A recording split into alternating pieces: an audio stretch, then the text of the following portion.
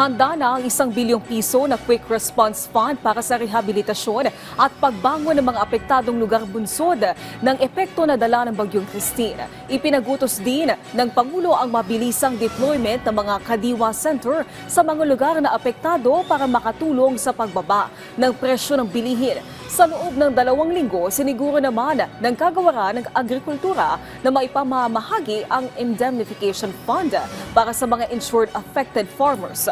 Para naman sa mga hindi insured na magsasaka, may mga ipamamahagi ding assistance gaya ng mga binhi ng palay, pataba, binhi ng gulay, gayon din ang survival and recovery loan na 25,000 pesos para sa mga apektadong magsasaka at mangingisda.